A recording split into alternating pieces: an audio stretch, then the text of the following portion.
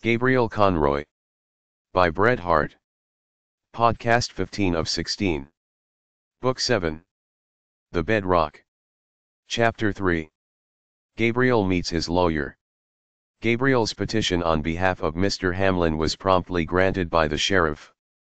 The wagon was at once put into requisition to convey the wounded man albeit screaming and protesting to the Grand Conroy Hotel, where, in company with his faithful henchman, he was left, to all intents a free man, and a half an hour later a demented one, tossing in a burning fever. Owing to the insecure condition of the county jail at One Horse Gulch, and possibly some belief in the equal untrustworthiness of the people, the sheriff conducted his prisoner, accompanied by Ollie, to Wingdam. Nevertheless, Ollie's statement of the changed condition of public sentiment, or rather its preoccupation with a calamity of more absorbing interest, was in the main correct. The news of the recapture of Gabriel by his legal guardian awoke no excitement nor comment. More than this, there was a favorable feeling toward the prisoner. The action of the Vigilance Committee had been unsuccessful, and had terminated disastrously to the principal movers therein. It is possible that the morality of their action was involved in their success. Somehow the whole affair had not resulted to the business interests of the Gulch. The three most prominent lynchers were dead and clearly in error. The prisoner, who was still living, was possibly in the right. The Silverpolis Messenger, which ten days before had alluded to the noble spectacle of a free people outraged in their holiest instincts, appealing to the first principles of justice and order, and rallying as a single man to their support, now quietly buried the victims and their motives from the public eye beneath the calm statement that they met their fate while examining the roof of the courthouse with a view to estimate the damage caused by the first shock of the earthquake. The banner favored the same idea a little less elegantly, and suggested ironically that hereafter none but experts should be allowed to go full and round the statue of justice. I trust that the intelligent reader will not accuse me of endeavoring to cast ridicule upon the general accuracy of spontaneous public emotion, nor the infallibility of the true democratic impulse, which, I beg to quote from the messenger, in the earliest ages of our history enabled us to resist legalist aggression.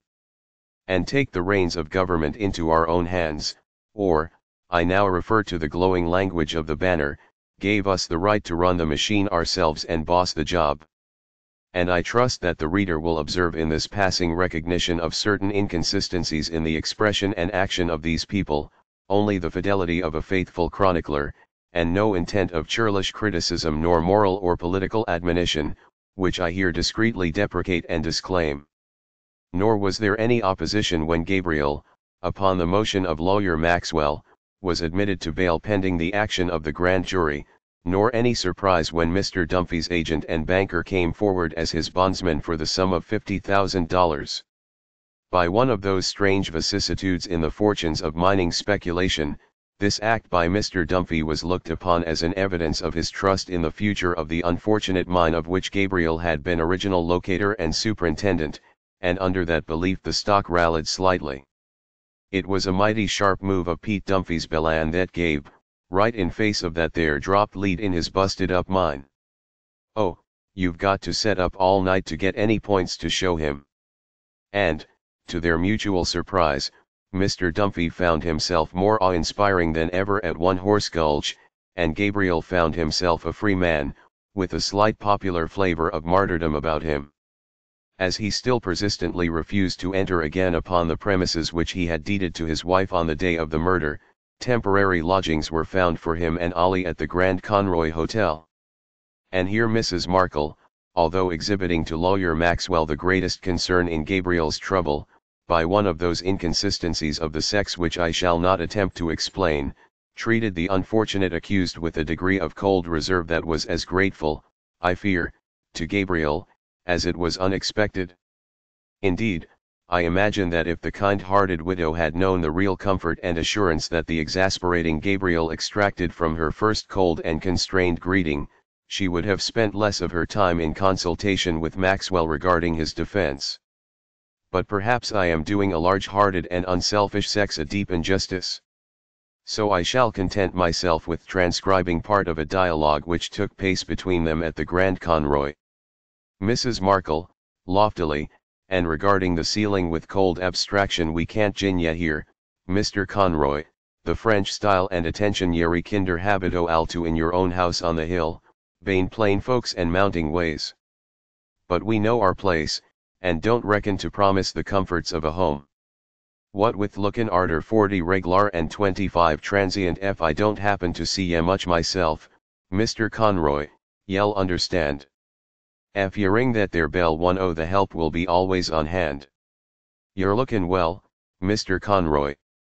And business, I reckon, the reader will here observe a lady-like ignoring of Gabriel's special trouble, easy about what it allers was, though judging from remarks of transients, it's dull.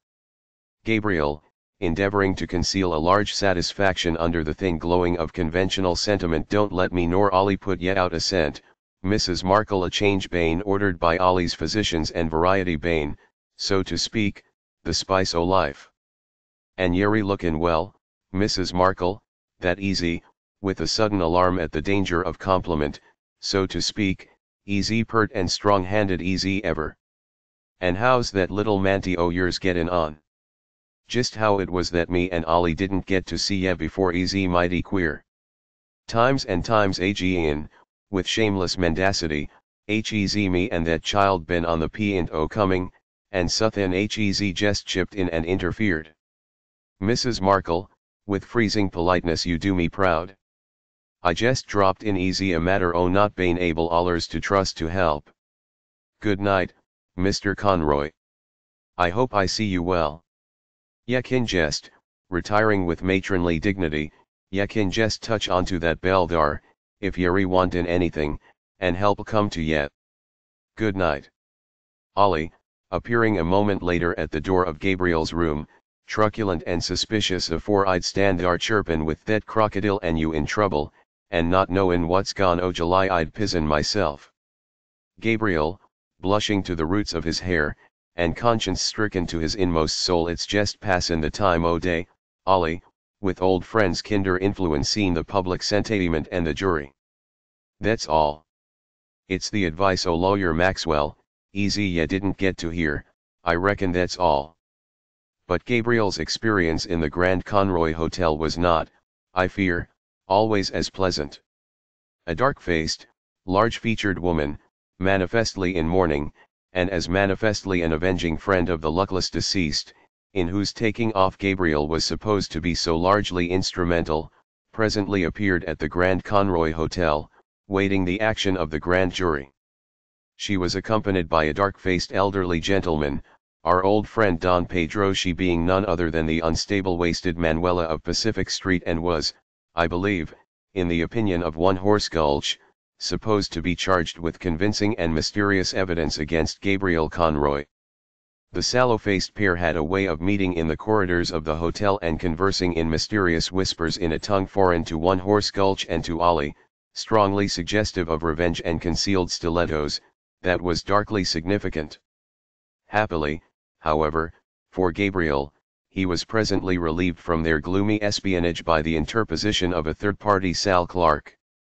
That individual, herself in the deepest mourning, and representing the deceased in his holiest affections, it is scarcely necessary to say at once resented the presence of the strangers.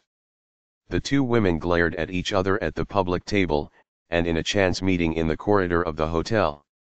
In the name of God, what have we here in this imbecile and forward creature, and why is this so and after this fashion, asked Manuela of Don Pedro. Of a verity, I know not, replied Don Pedro, it is most possibly a person visited of God, a helpless being of brains. Peradventure, a person filled with aguardiente or the whiskey of the Americans. Have a care, little one, thou smallest Manuela, she weighed at least three hundred pounds, that she does thee no harm. Meanwhile Miss Sarah Clark relieved herself to Mrs. Markle in quite as positive language. F that black mulatter and that dried up old furriner reckons they're going to monopolize public sentiment in this year way they're mighty mistaken. F dar ever was a shameless piece et's that old woman and, goodness knows, the man's a poor critter anyway. F anybody's goin' to take the word of that woman under oath, et's more and Sal Clark would do that's all. Who is she anyway? I never heard her name mentioned afore. And ridiculous as it may seem to the unprejudiced reader, this positive expression and conviction of Miss Clark, like all positive convictions, was not without its influence on the larger unimpaneled grand jury of One Horse Gulch, and, by reflection, at last on the Impanelli jury itself.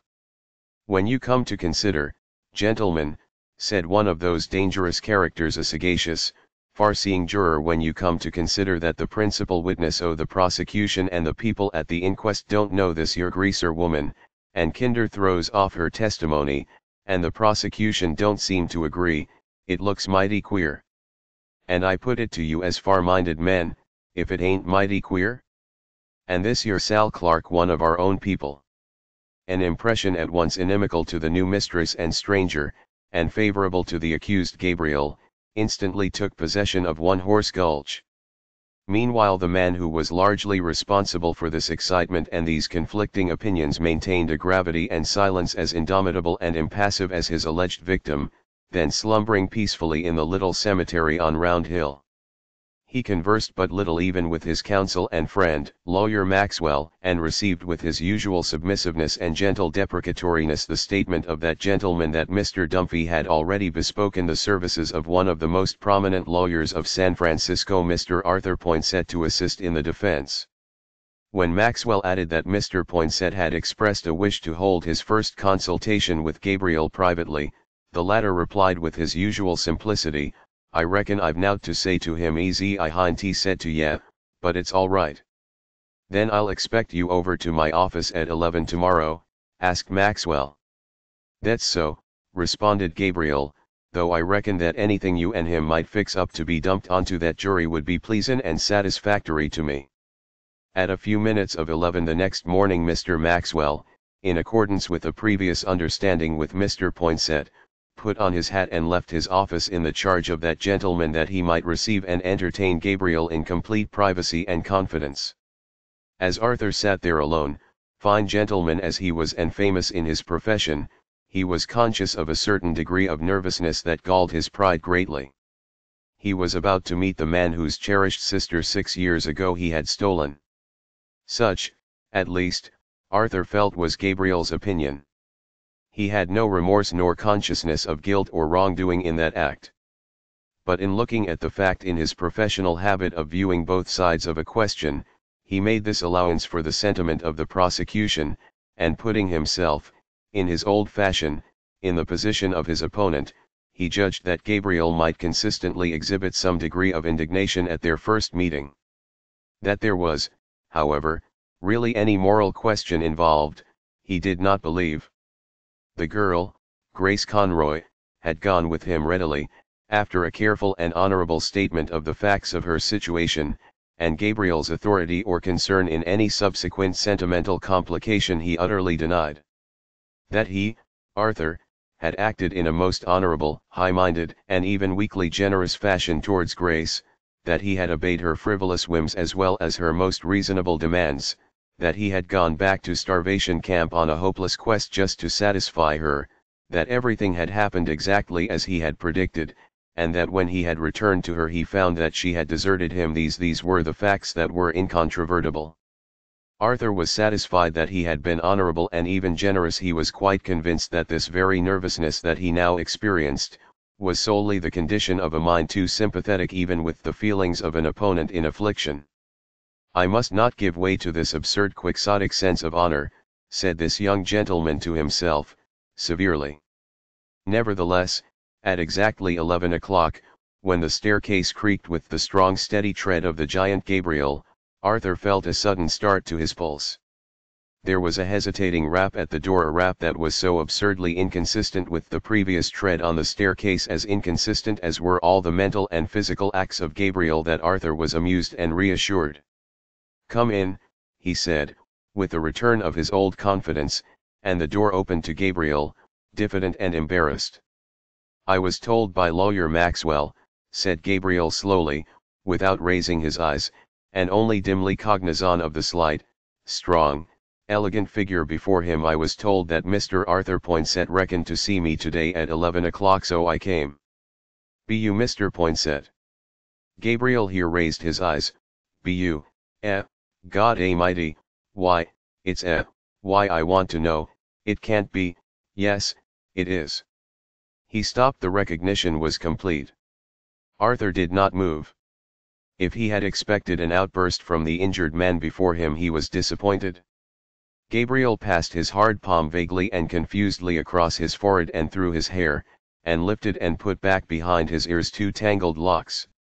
And then, without heeding Arthur's proffered hand, yet without precipitation, anger, or indignation, he strode toward him, and asked calmly and quietly, as Arthur himself might have done, Where is Grace? I don't know, said Arthur, bluntly. I have not known for years. I have never known her whereabouts, living or dead, since the day I left her at a logger's house to return to starvation camp to bring help to you. Arthur could not resist italicizing the pronoun, nor despising himself for doing it when he saw that the full significance of his emphasis touched the man before him. She was gone when I returned, where, no one knew. I traced her to the Presidio, but there she had disappeared. Gabriel raised his eyes to Arthur's. The impression of nonchalant truthfulness which Arthur's speech always conveyed to his hearer, an impression that he did not prevaricate because he was not concerned sufficiently in his subject, was further sustained by his calm, clear eyes. But Gabriel did not speak, and Arthur went on.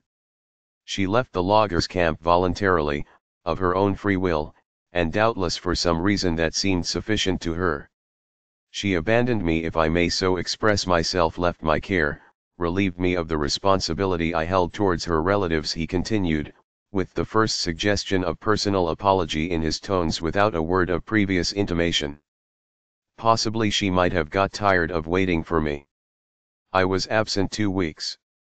It was the tenth day after my departure that she left the logger's hut. Gabriel put his hand in his pocket and deliberately drew out the precious newspaper slip he had once shown to Ollie. Then that dar personal wasn't writ by you, and that PA don't stand for Philip Ashley, asked Gabriel, with a hopeless dejection in his tone.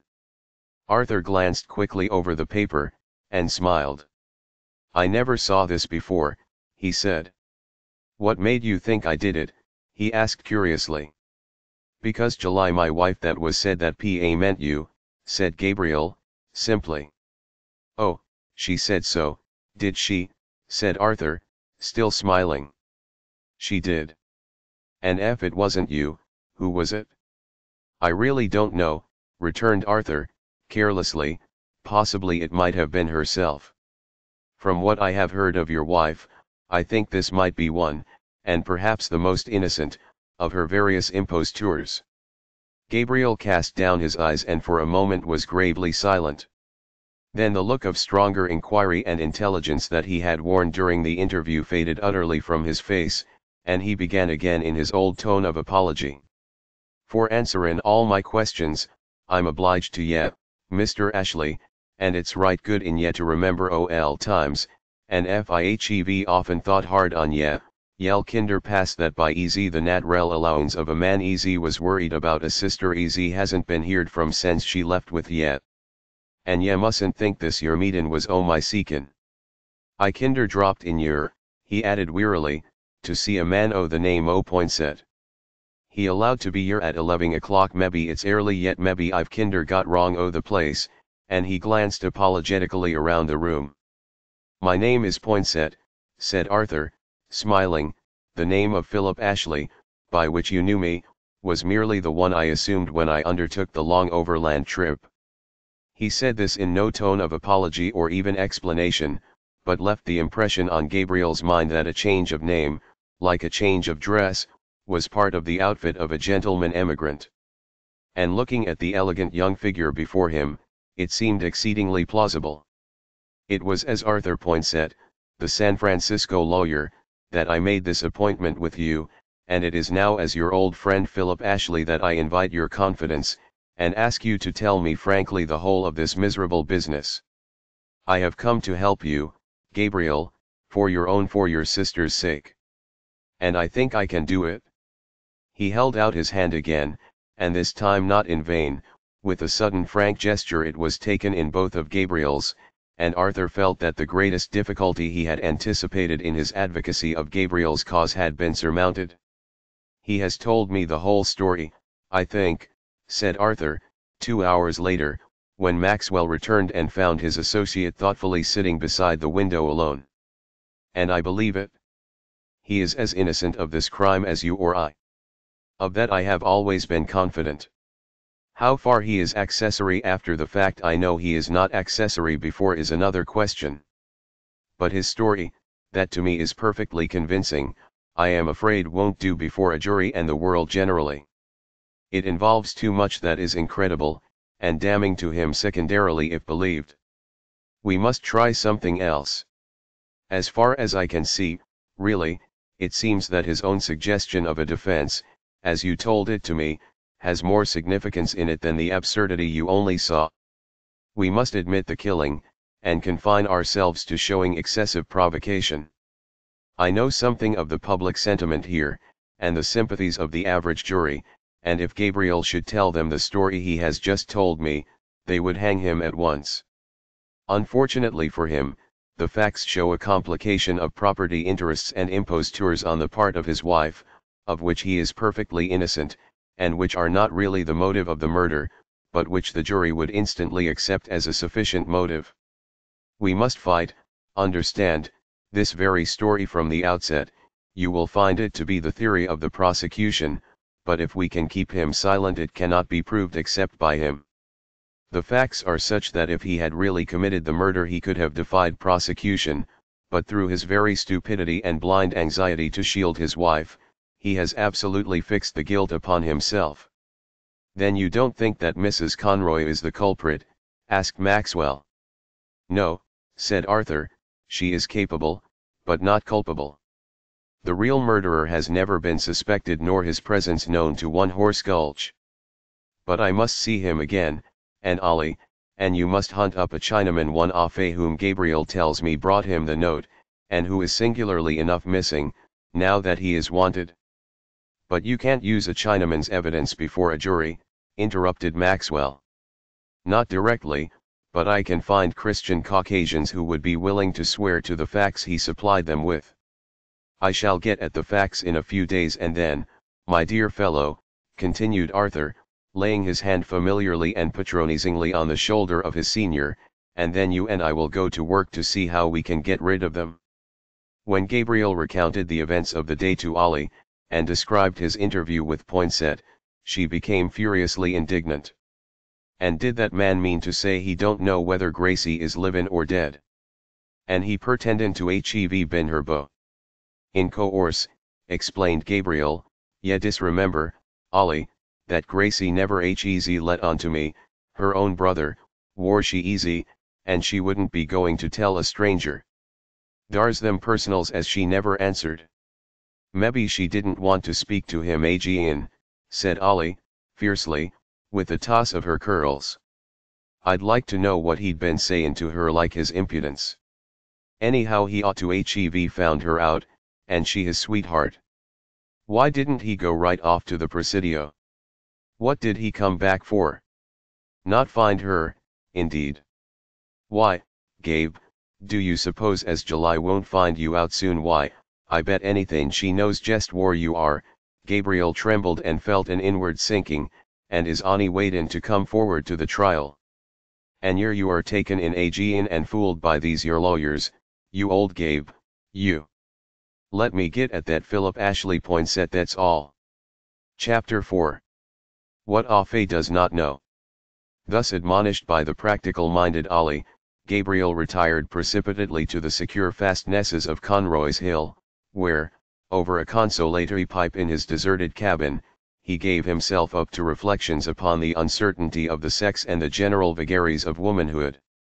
At such times he would occasionally extend his wanderings to the gigantic pine tree which still towered preeminently above its fellows in ominous loneliness, and seated upon one of its outlying roots, would gently philosophize to himself regarding his condition, the vicissitudes of fortune, the awful prescience of Ollie, and the beneficence of a creator who permitted such awkward triviality and uselessness as was incarnate in himself to exist at all.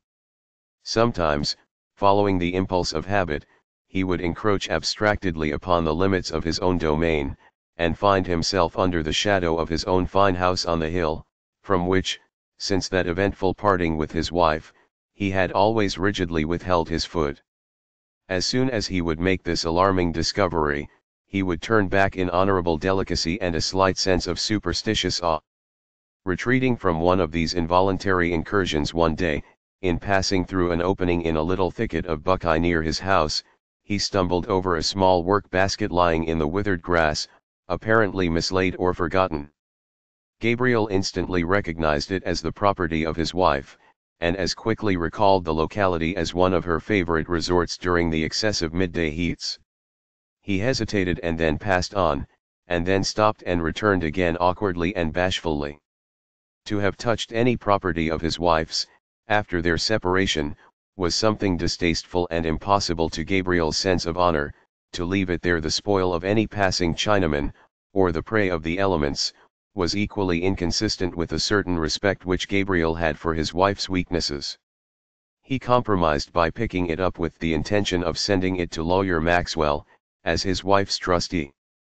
But in doing this, to Gabriel's great alarm, for he would as soon have sacrificed the hand that held this treasure as to have exposed its contents in curiosity or suspicion, part of that multitudinous contents overflowed and fell on the ground, and he was obliged to pick them up and replace them.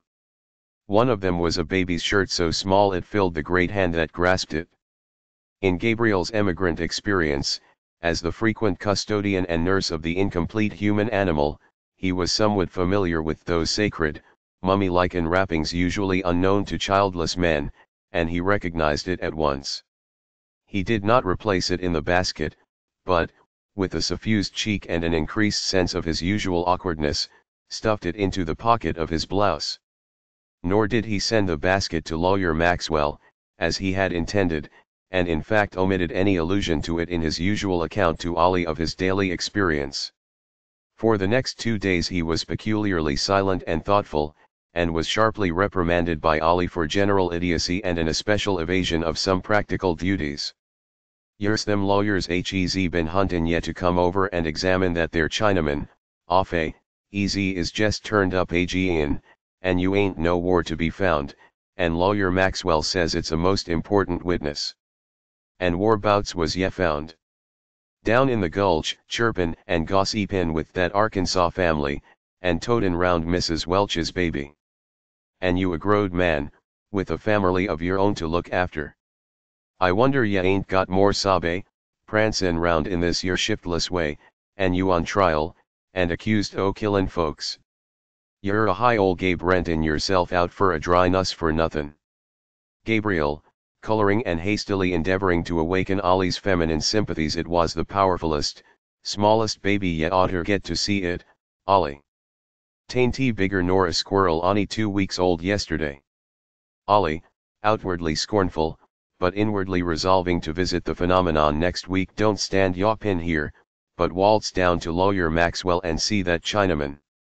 Gabriel reached the office of lawyer Maxwell just as that gentleman and Arthur Poinsett were rising from a long, hopeless, and unsatisfactory examination of Afe. The lawyers had hoped to be able to establish the fact of Gabriel's remoteness from the scene of the murder by some corroborating incident or individual that Afe could furnish in support of the detailed narrative he had already given. But it did not appear that any Caucasian had been encountered or met by Afe at the time of his errand. And Afe's memory of the details he had already described was apparently beginning to be defective, it was evident nothing was to be gained from him even if he had been constituted a legal witness. And then, more than all, he was becoming sullen. We are afraid that we haven't made much out of your friend, Afe, said Arthur, taking Gabriel's hand. You might try if you can revive his memory, but it looks doubtful. Gabriel gazed at Afe intently possibly because he was the last person who had spoken to his missing wife. Afe returned the gaze, discharging all expression from his countenance, except a slight suggestion of the habitual vague astonishment always seen in the face of a newborn infant. Perhaps this peculiar expression, reminding Gabriel as it did of the phenomenon in the Welch family, interested him. But the few vague wandering questions he put were met by equally vague answers. Arthur rose in some impatience, lawyer Maxwell wiped away the smile that had been lingering around his mouth. The interview was ended. Arthur and Maxwell passed down the narrow stairway arm in arm. Gabriel would have followed them with Afe, but turning toward that Mongolian, he was alarmed by a swift spasm of expression that suddenly convulsed Afe's face. He winked both his eyes with the velocity of sheet lightning, nodded his head with frightful rapidity, and snapped and apparently dislocated every finger on his right hand. Gabriel gazed at him in open-mouthed wonder. Almighty, said Afe, looking intently at Gabriel. Which, asked Gabriel. Almighty. You shabby Almighty. She say Almighty. Who's she? asked Gabriel, in sudden alarm. You lifey, shabby, Missy Conloy. She likey you shabby? Me likey you, shabby? Miss Conloy she say all lighty. You shabby shelif. Which, said Gabriel. Shelif. Man plenty choky bad man. Sheriff, I reckon, suggested Gabriel, with great gravity. Um. Shelif. Maybe you shabby him bime by. He choky bad man. Much choky. Choky like helly. He no choky you. No. Shabby. She say Shelif no choky you. Shabby. I see, said Gabriel, significantly. She say, continued Afe, with gasping swiftness, she say you talky too much. She say me talky too much. She say Maxwelly talky too much. All talky too much. She say no talky. Shabby. She say ash up. Shabby. She say daily up. Shabby. She say bime by plenty talky bime by all lighty. Shabby. But war easy she war can I get to see her, asked Gabriel. Afe's face instantly discharged itself of all expression. A wet sponge could not have more completely obliterated all penciled outline of character or thought from his blank slate-colored physiognomy than did Gabriel's simple question. He returned his questioner's glance with ineffable calmness and vacancy, patiently drew the long sleeves of his blouse still further over his varnished fingers, crossed them submissively and orientally before him, and waited apparently for Gabriel to become again intelligible. Look here, said Gabriel, with gentle persuasiveness, if it's the same to ye, you'd be doin' me a heap o' good if you'd let on war that July that Mrs. Conroy easy. Bane a man easy in his blindness bows down to wood and stun, ye ain't supposed to allow for a Christian's feelings. But I put to ye easy a far-minded brethren a true man and a man whatsoever his color that it's a square thing for ye to allow to me war that woman easy easy my relation by marriage easy hidden. Allowing it's one o' my idols I axes you as a brother pagan war easy she. A faint, flickering smile of pathetic abstraction and simplicity, as of one listening to far off but incomprehensible music stole over Afe's face. Then he said kindly, gently, but somewhat vaguely and unsatisfactorily. Me no shabby Melican man. Me washi surti. Dala and half dozen. Chapter 5 the people v. John Doe alias Gabriel Conroy, and Jane Roe alias Julie Conroy, before Boompointer, J. The day of the trial was one of exacting and absorbing interest to one Horse Gulch. Long before 10 o'clock the courtroom, and even the halls and corridors of the lately rehabilitated courthouse, were thronged with spectators. It is only fair to say that by this time the main points at issue were forgotten. It was only remembered that some of the first notabilities of the state had come up from Sacramento to attend the trial, that one of the most eminent lawyers in San Francisco had been engaged for the prisoner at a fee variously estimated from fifty to one hundred thousand dollars, and that the celebrated Colonel Starbottle of Siskiyou was to assist in the prosecution, that a brisk duel of words, and it was confidently hoped, a later one of pistols, would grow out of this forensic encounter that certain disclosures affecting men and women of high social standing were to be expected, and, finally, that in some mysterious way a great political and sectional principle, Colonel Starbottle was from the south and Mr. Poinsett from the north, was to be evolved and upheld during the trial these were the absorbing fascinations to one Horse Gulch. At 10 o'clock Gabriel, accompanied by his counsel, entered the courtroom, followed by Colonel Starbottle. Judge Boompointer, entering at the same moment, bowed distantly to Arthur, and familiarly to Colonel Starbottle. In his odium off the bench, he had been chaffed by the district attorney, and had lost large sums at play with Colonel Starbottle. Nevertheless he was a trifle uneasy under the calmly critical eyes of the famous young advocate from San Francisco. Arthur was too wise to exhibit his fastidiousness before the court, nevertheless, Judge Boompointer was dimly conscious that he would on that occasion have preferred that the clerk who sat below him had put on a cleaner shirt, and himself refrained from taking off his cravat and collar, as was his judicial habit on the Wingdam circuit. There was some slight prejudice on the part of the panel to this well-dressed young lawyer, which they were pleased to specify and define more particularly as his general airiness. Seeing which, Justice, on the bench, became more dignified, and gazed severely at the panel and at Arthur. In the selection of the jury there was some difficulty, it was confidently supposed that the prisoner's counsel would challenge the array on the ground of the recent vigilance excitement, but public opinion was disappointed when the examination of the defense was confined to trivial and apparently purposeless inquiry into the nativity of the several jurors. A majority of those accepted by the defense were men of Southern birth and education. Colonel Starbottle, who, as a representative of the peculiar chivalry of the South, had always adopted this plan himself, in cases where his client was accused of assault and battery, or even homicide, could not in respect to his favorite traditions object to it. But when it was found that there were only two men of northern extraction on the jury, and that not a few of them had been his own clients, Colonel Starbottle thought he had penetrated the theory of the defense.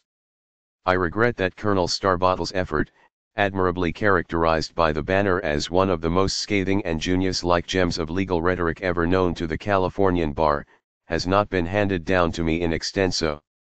Substantially, however, it appeared that Colonel Starbottle had never before found himself in so peculiar, so momentous, so er delicate a position. A position, Sir er er gentlemen, fraught with the deepest social, professional er er he should not hesitate to say, upon his own personal responsibility, a position of the deepest political significance. Colonel Starbottle was aware that this statement might be deprecated nay, even assailed by some. But he did not retract that statement. Certainly not in the presence of that jury, in whose intelligent faces he saw er justice inflexible justice, ERER mingled and er mixed with with chivalrous instinct, and suffused with the characteristic ERER glow of er. I regret to add that at this supreme moment, as the colonel was lightly waving away with his fat right hand the difficulties of rhetoric, a sepulchral voice audible behind the jury suggested Robinson County whiskey as the origin of the phenomena the colonel hesitated to describe. The judge smiled blandly and directed the deputy sheriff to preserve order. The deputy obeyed the mandate by looking over into the crowd behind the jury, and saying, in an audible tone, you'd better dry up dar, Joe White, or get out o' that, and the colonel, undismayed, proceeded. He well understood the confidence placed by the defense in these gentlemen. He had reason to believe that an attempt would be made to show that this homicide was committed in accordance with certain ERER principles held by honorable men that the act was retributive, and in defense of an invasion of domestic rights and the sanctity of wedlock. But he should show them its fallacy. He should show them that only a base pecuniary motive influenced the prisoner he should show them er that the accused had placed himself, firstly, by his antecedent acts, and, secondly, by the manner of the later act, beyond the sympathies of honorable men. He should show them a previous knowledge of certain er indiscretions on the part of the prisoner's wife, and a condonation by the prisoner of those indiscretions, that effectually debarred the prisoner from the provisions of the code, he should show an inartistic, he must say, even on his own personal responsibility, a certain ungentlemanliness, in the manner of the crime that refused to clothe it with the ERER generous mantle of chivalry. The crime of which the prisoner was accused might have ERER been committed by a Chinaman or a racial expletive. Colonel Starbottle did not wish to be misunderstood. It was not in the presence of E.R. Beauty, the colonel paused, drew out his handkerchief, and gracefully waved it in the direction of the dusky Manuela and the truculent Sal both ladies acknowledging the courtesy as an especial and isolated tribute, and exchanging glances of the bitterest hatred, it is not, gentlemen, in the presence of an all-sufficient and enthralling sex that I would seek to disparage their influence with man. But I shall prove that this absorbing ERER passion, this ERER delicious ERER fatal weakness, that rules the warlike camp, the ERER stately palace, as well as the ERER cabin of the baseborn churl, never touched the calculating soul of Gabriel Conroy. Look at him, gentlemen. Look at him, and say upon your oaths, upon your experience as men of gallantry, if he is a man to sacrifice himself for a woman. Look at him, and say truly, as men personally responsible for their opinions, if he is a man to place himself in a position of peril through the blandishments of ERER beauty, or sacrifice himself upon the ERER altar of Venus. Every eye was turned upon Gabriel. And certainly at that moment he did not bear any striking resemblance to a sighing Amintor or a passionate Othello. His puzzled, serious face, which had worn a look of apologetic sadness, was suffused at this direct reference of the prosecution, and the long, heavy lower limbs, which he had diffidently tucked away under his chair to reduce the elevation of his massive knees above the ordinary level of one of the courtroom chairs, retired still further. Finding himself, during the colonel's rhetorical pause, still the center of local observation, he slowly drew from his pocket a small comb, and began awkwardly to comb his hair, with an ineffective simulation of preoccupation and indifference. Yes, sir, continued the colonel, with that lofty forensic severity so captivating to the spectator, you may comb your hair, high R was the colonel's pronunciation, but you can't comb it so as to make this intelligent jury believe that it is fresh from the hands of ERER Delilah. The colonel then proceeded to draw an exceedingly poetical picture of the murdered Ramirez a native, appealing to the sympathies of every southern man, a native of the tropics, impulsive, warm, and peculiarly susceptible, as we all are, gentlemen, to the weaknesses of the heart. The colonel would not dwell further upon this characteristic of the deceased. There were within the sound of his voice, visible to the sympathizing eyes of the jury, two beings who had divided his heart's holiest affections their presence was more eloquent than words. This man, continued the colonel, a representative of one of our oldest Spanish families a family that recalled the days of ERER the Cid and Don John this man had been the victim at once of the arts of Mrs. Conroy and the dastardly fears of Gabriel Conroy, of the wiles of the woman and the stealthy steel of the man. Colonel Starbottle would show that personating the character and taking the name of Grace Conroy, an absent sister of the accused, Mrs. Conroy, then really Madame Devarges, sought the professional aid of the impulsive and generous Ramirez to establish her right to a claim then held by the accused in fact, wrongfully withheld from his own sister, Grace Conroy. That Ramirez, believing implicitly in the story of Madame Devarges with the sympathy of an overflowing nature, gave her that aid until her marriage with Gabriel exposed the deceit. Colonel Starbottle would not characterize the motives of such a marriage. It was apparent to the jury. They were intelligent men, and would detect the unhallowed combination of two confederates, under the sacrament of a holy institution, to deceive the trustful Ramirez. It was a nuptial feast at which ERER Mercury presided, and not ERER Hymen. Its only issue was fraud and murder. Having obtained possession of the property in a common interest, it was necessary to remove the only witness of the fraud, Ramirez. The wife found a willing instrument in the husband. And how was the deed committed? Openly and in the presence of witnesses? Did Gabriel even assume a virtue, and under the pretext of an injured husband challenge the victim to the field of honor? No. No, gentlemen. Look at the murderer, and contrast his enormous bulk with the er slight, graceful, youthful figure of the victim, and you will have an idea of the ERER enormity of the crime. After this exordium came the testimony i.e., facts colored more or less unconsciously, according to the honest prejudices of the observer, his capacity to comprehend the fact he had observed, and his disposition to give his theory regarding that fact rather than the fact itself. And when the blind had testified to what they saw, and the halt had stated where they walked and ran, the prosecution rested with a flush of triumph.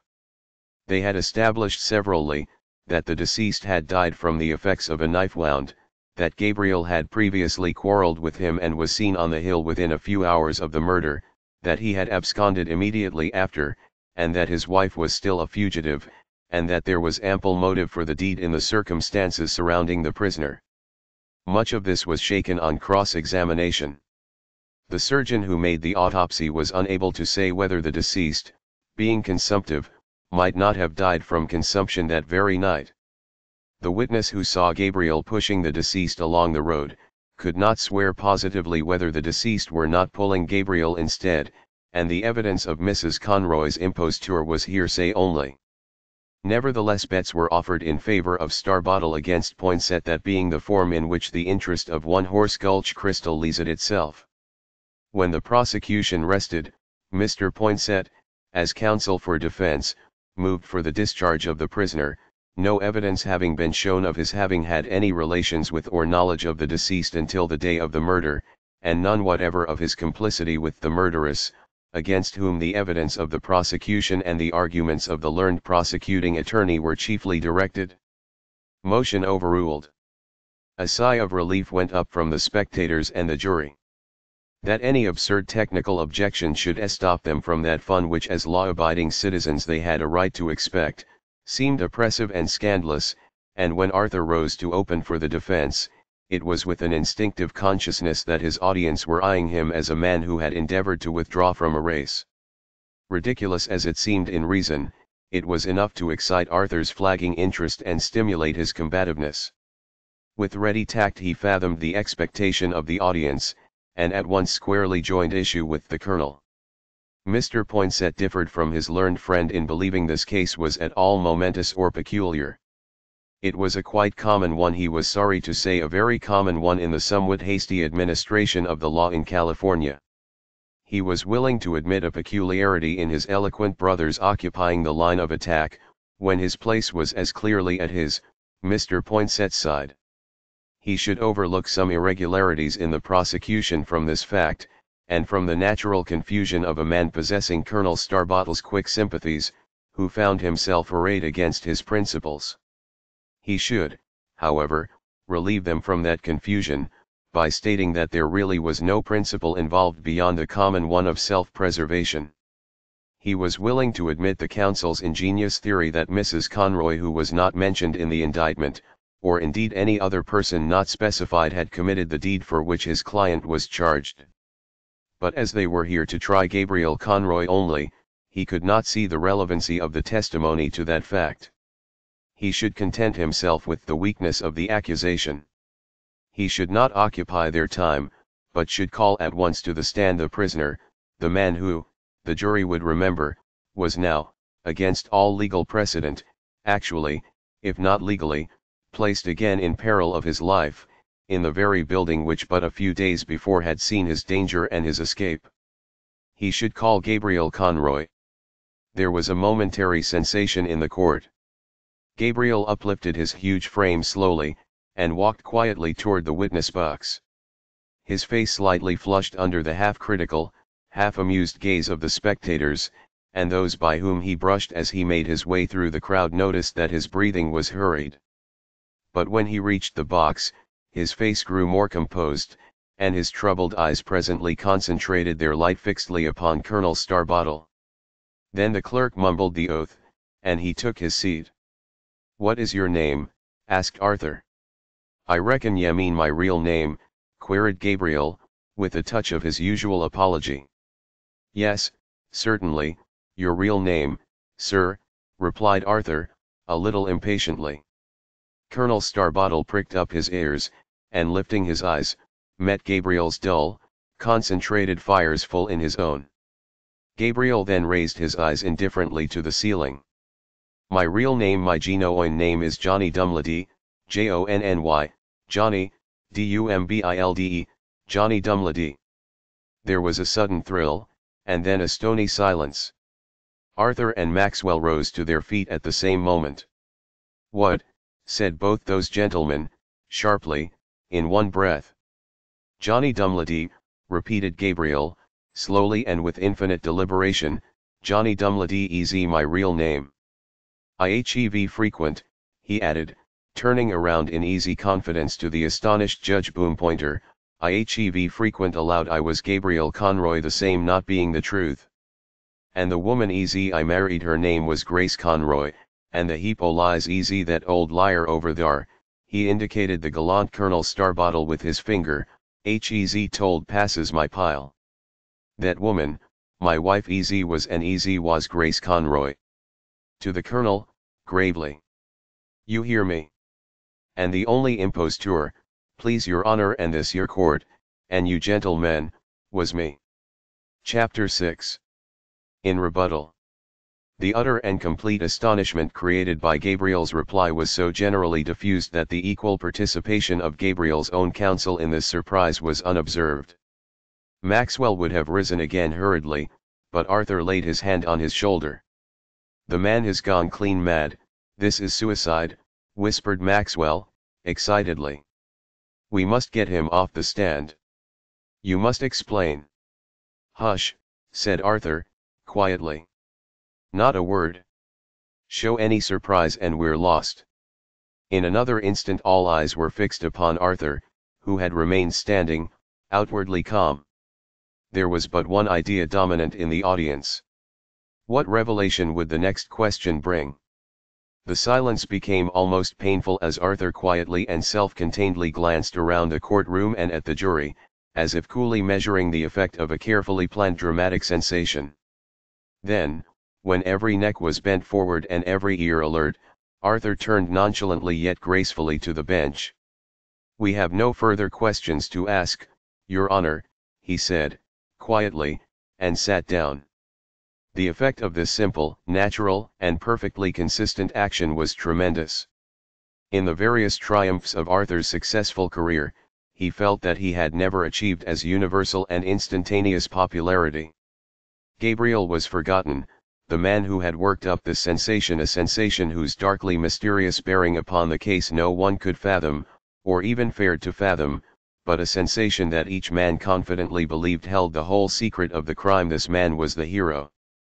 Had it been suggested, the jury would have instantly given a verdict for this hero's client without leaving their seats. The betting was two to one on Arthur. I beg to observe that I am writing of men, impulsive, natural, and unfettered in expression and action by any tradition of logic or artificial law a class of beings much idealized by poets, and occasionally, I believe, exalted by latter-day philosophers. Judge Boompointer looked at Colonel Starbottle. That gentleman, completely stunned and mystified by the conduct of the defense, fumbled his papers, coughed, expanded his chest, rose, and began the cross-examination. You have said your name was ERER Johnny ERER, the colonel was here obliged to consult his papers, ER John Dumledy. What was your idea, Mr. Dumledy, in ER assuming the name of ERER Gabriel Conroy? Objected to by counsel for defense. Argument, firstly, motives, like beliefs, not admissible, case cited, Higginbottom v. Smithers. Secondly, not called out on direct EX, see Swinky v. Swanky, opinion of Muggins, J, 2 calories. Rep. Thirdly, witness not obliged to answer questions tending to self-crimination. Objection overruled by the court. Precedent not cited, real motive, curiosity. Boompointer, J question repeated. What was your idea or motive in assuming the name of Gabriel Conroy? Gabriel, cunningly, and leaning confidentially over the arm of his chair what would be your idea of a motif? The witness, amidst much laughter, was here severely instructed by the court that the asking of questions was not the function of a witness. The witness must answer. Gabriel, well, Gabriel Conroy was a putty name the name of a man easy I onst knew easy died in starvation camp.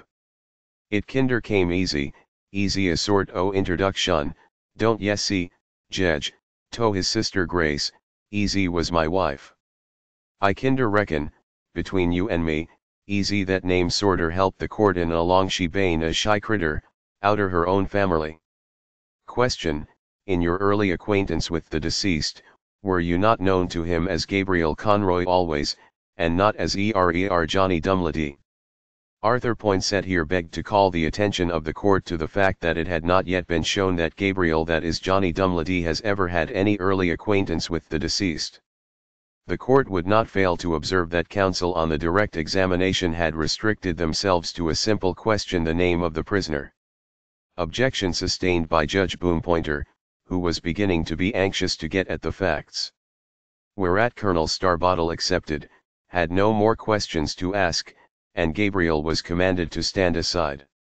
Betting now 5 to 1 on Arthur Poinsett, Gabriel's hand, on leaving the witness box, shaken cordially by a number of hitherto disinterested people.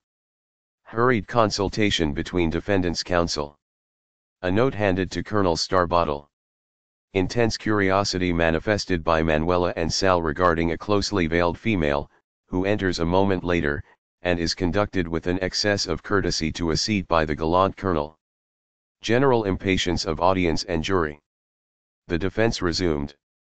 Michael O'Flaherty called, Nativity, County Kerry, Ireland. Business, miner. On the night of the murder, while going home from work, met deceased on Conroy's Hill, dodging in among the trees, for all the world like a thief. A few minutes later overtook Gabriel Conroy half a mile farther on, on the same road, going in same direction as witness, and walked with him to lawyer Maxwell's office. Cross-examined, is naturalist. Always voted the Democratic ticket. Was always opposed to the government bad cess to it in the old count 3, and isn't that main to go back on his principles here. Doesn't know that a Chinaman has affirmed to the same fact of Gabriel's alibi. Doesn't know what an alibi is, thinks he would if he saw it. Believes a Chinaman is worse nor a racial expletive. Has noticed that Gabriel was left-handed. Amédée Michet, sworn for defense, Nativity, France. Business, foreman of La Parfait Union. Frequently walks to himself in the beautiful grove on Conroy's Hill. Comes to him on the night of the 15th, Gabriel Conroy departing from his house. It is then seven hours, possibly more, not less. The night is fine. This Gabriel salutes him in the American fashion, and is gone. Eastward. Ever to the east. Watches M. Conroy because he wears a triste look, as if there were great sadness here, in the breast of the witness blouse. Sees him vanish in the gulch. Returns to the hill and there overhears voices, a man's and a woman's. The woman's voice is that of Madame Conroy. The man's voice is to him strange and not familiar. Will swear positively it was not Gabriel's. Remains on the hill about an hour. Did not see Gabriel again. Saw a man and woman leave the hill and pass by the Wingdam Road as he was going home. To the best of his belief the woman was Mrs. Conroy. Do not know the man. Is positive it was not Gabriel Conroy. Why? Et. Mon Dieu, is it possible that one should mistake a giant? Cross-examined. Is a patriot do not know what is this Democrat you call? Is a hater of aristocrats? Do not know if the deceased was an aristocrat. Was not enraged with Madame Conroy. Never made love to her. Was not jilted by her. This is all what you call too thin, et. Eh? Has noticed that the prisoner was left-handed. Helling Dittman, Nativity, Germany. Does not know the deceased, does know Gabriel. Met him the night of the 15th on the road from Wingdam, thinks it was after 8 o'clock. He was talking to a Chinaman. Cross-examined. Has not been told that these are the facts stated by the Chinaman. Believes a Chinaman as good as any other man. Don't know what you mean. How comes these things? Has noticed the prisoner used his left hand every time. Dr. Presnitz recalled. Viewed the body at 9 o'clock on the 16th. The blood stains on the linen and the body had been slightly obliterated and diluted with water, as if they had been subjected to a watery application. There was an unusually heavy dew at 7 o'clock that evening, not later. Has kept a meteorological record for the last three years. Is of the opinion that this saturation might be caused by dew falling on a clot of coagulated blood. The same effect would not be noticeable on a freshly bleeding wound. The hygrometer showed no indication of a later fall of dew. The night was windy and boisterous after 8 o'clock, with no humidity. Is of the opinion that the body, as seen by him, first assumed its position before 8 o'clock.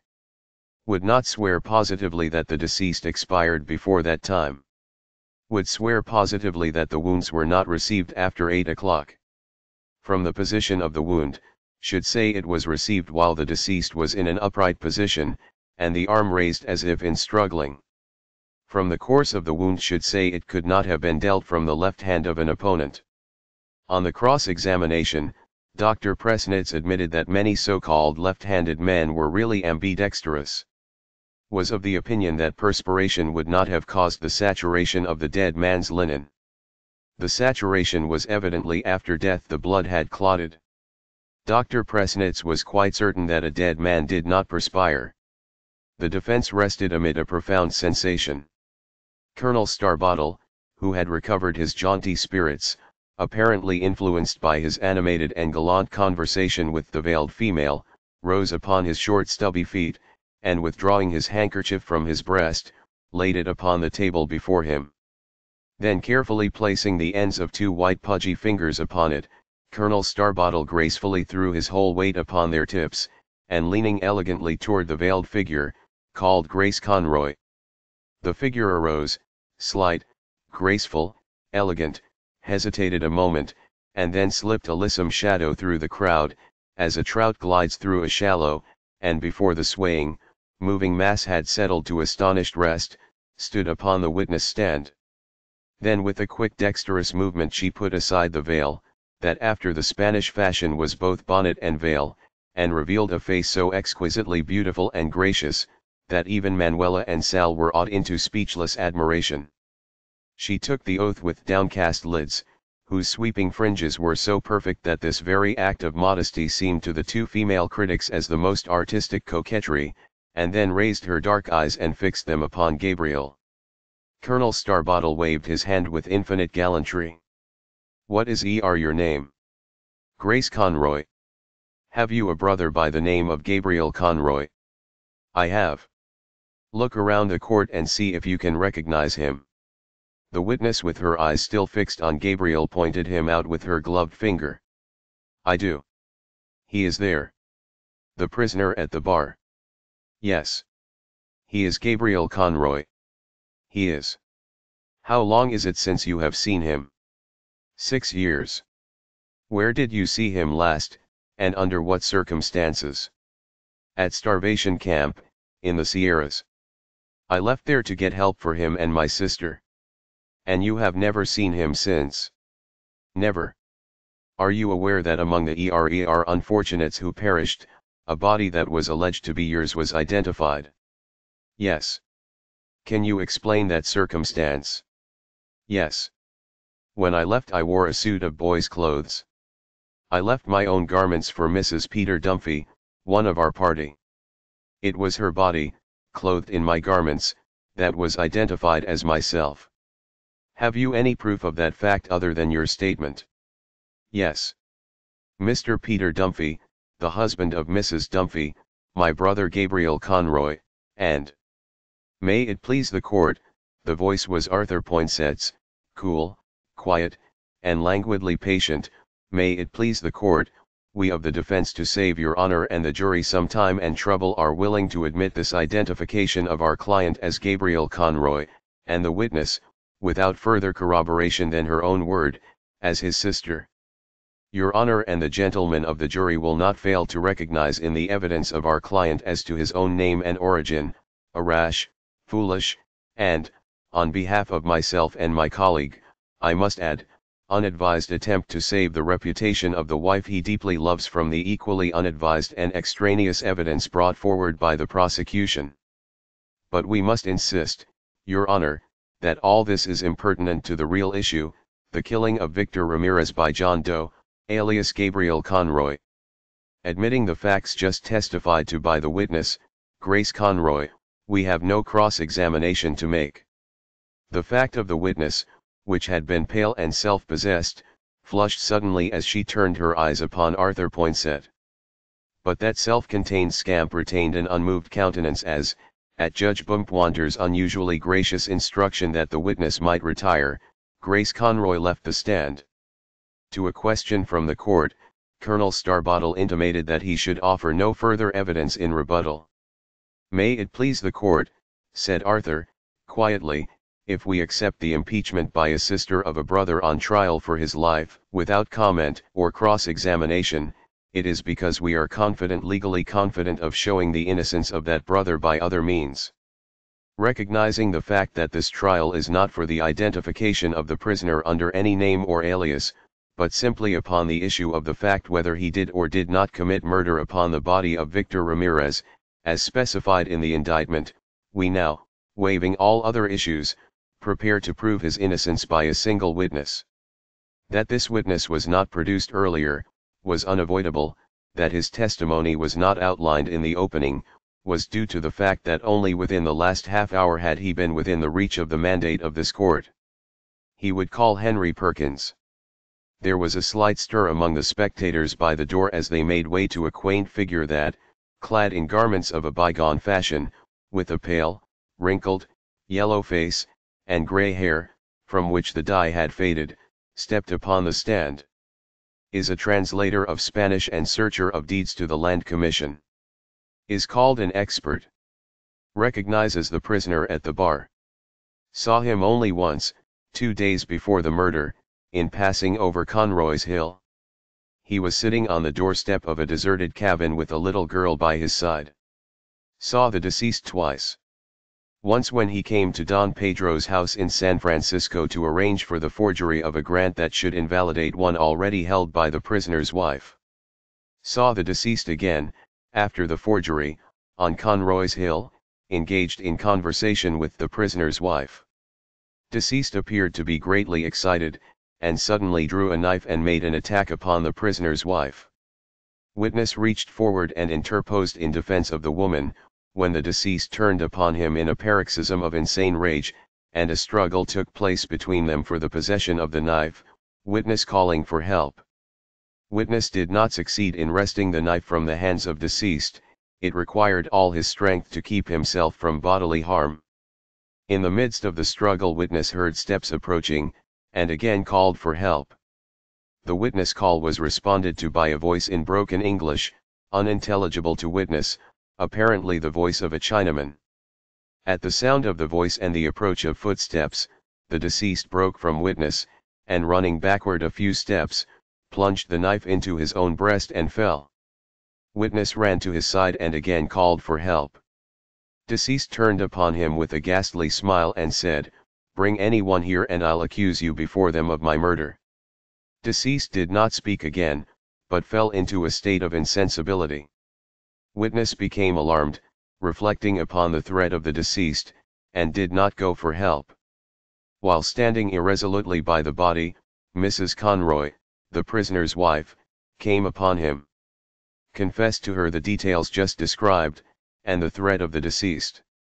She advised the instant flight of the witness, and offered to go with him herself. Witness procured a horse and buggy from a livery stable, and at half past nine at night took Mrs. Conroy from the hillside near the road, where she was waiting.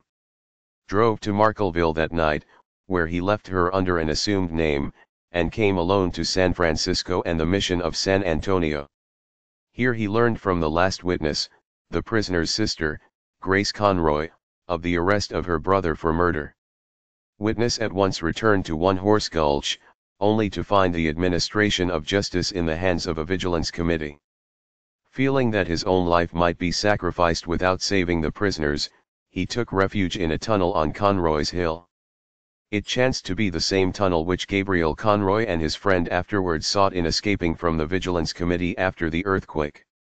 Witness, during the absence of Gabriel, made himself known to Mr. Jack Hamlin, Gabriel's friend and comrade in flight, and assured him of the witness' intention to come forward whenever a fair trial could be accorded to Gabriel.